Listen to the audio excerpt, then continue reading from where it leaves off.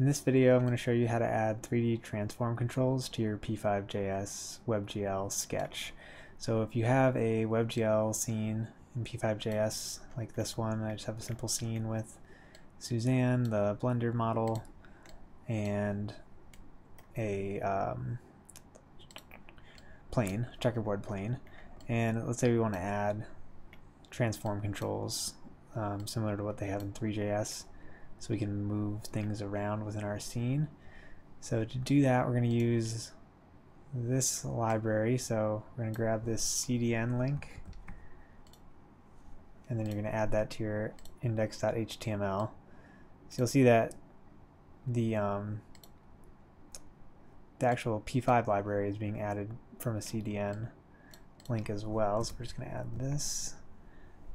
And this will give us a P5 gizmo uh, if you want to look at the code for this, you can copy this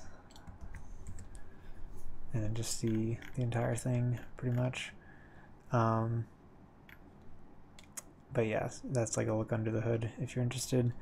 If not, that's fine. And then you also need math.js because this uses some math.js functions.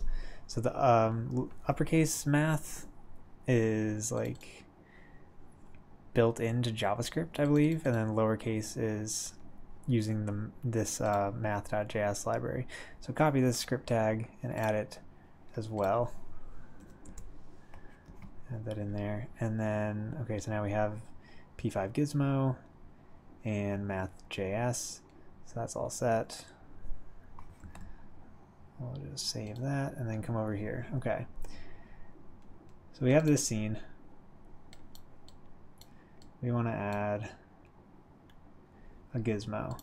So to do that, it kind of tells you what to do here, but you can, in setup, in setup you're going to want to add a camera and G new gizmo. So you do this, you go, oh we already have a camera, so that's good cam equals create camera, g equals new gizmo, and we'll just have it start at the origin. Alright, and then g dot show will show the gizmo. Put this towards the end of the draw loop.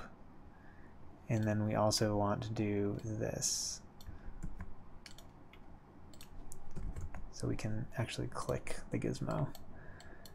All right, and now it's working. Um, whoa, so you're gonna get some weird results if you don't also do this. So you're gonna want to uh, disable orbit control when the gizmo is clicked. So go ahead and paste that in, and then this will work well. So now you have the ability to click and drag this gizmo around. Um, so you can drag the entire gizmo or you can drag along a specific axis or a specific uh, plane. So here I'm moving along the X, I don't know, uh, the Z, Y plane. Sorry, it's very late at night, I'm tired. Um, all right, so okay, so yeah, so now we want to, let's say we want to pair um, Suzanne, the monkey model here, to our gizmo. So we want this gizmo to control the position of Suzanne. So when we do this in preload, we're loading the model. So I just have the model in here and the checkerboard pattern image. Those are the only things that I've added to this so far. So we have Suzanne the model, and that is an object. So you could do this. You go Suzanne dot and then position equals. We should first make sure that we're not overwriting a property um, called position. So just to make sure we could console log this and just look at the properties. Okay, so vertices, here are all the properties.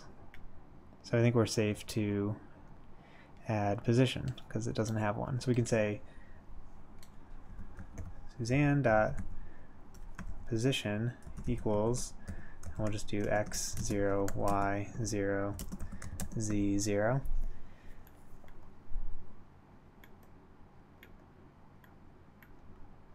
Okay, and then each time we'll just update Suzanne's position. So we'll say Suzanne.position equals, and then G, the gizmo, has a position property as well. So we'll just say Suzanne position equals the gizmo's position. And then we will translate by Suzanne.position.x, Suzanne.position, whoops, Suzanne.position.y, and Suzanne.position.z. Alright, so now, yes, so now we can move things around and stage this position stage things in our scene potentially. So you could do this. Um, you could add another gizmo. You say g2 equals new gizmo. We'll do it at like 10, 50, 100.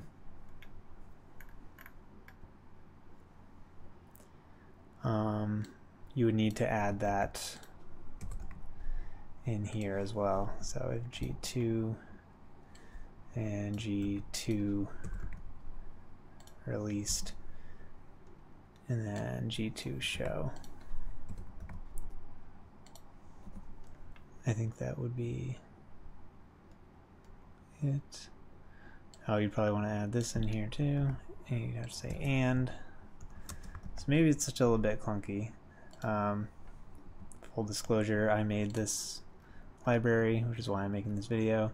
Um, so you have suggestions for improvements, let me know. But um, yeah, so you could add another one, um, and this could potentially like control the position of the plane. You know, we could say this plane. So we could just like translate.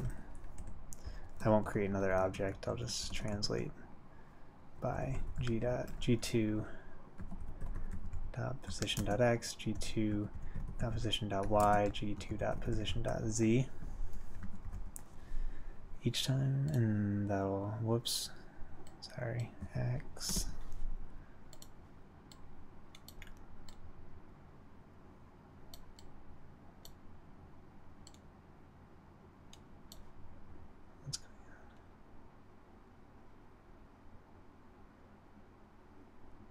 Oh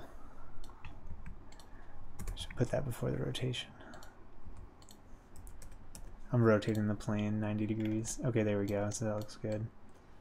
Yeah, so now we could stage, move around the checkerboard and move around the Suzanne model.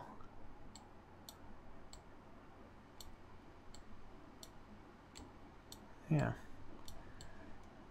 So that's pretty much it hope you got something out of this video. If you have any questions or suggestions for this, I would love to hear that, so let me know something's on your mind. Thanks for watching.